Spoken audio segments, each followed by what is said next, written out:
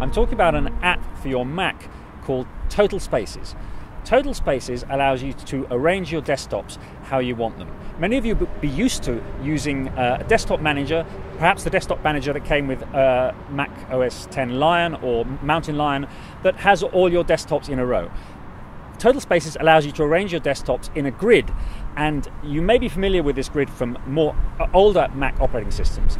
The grid uh, in Total Spaces is totally configurable. You can have it any which way you want. You can have all your windows in different places. You can keep a mental map of where they are. You can move very easily between them, left and right, up and down, using your fingers, swiping the mouse, hotkeys, hot corners. You can also open an overview grid and see all your desktops and move windows between them. Even if you have multiple monitors, it works great. Go to totalspaces.binaryage.com.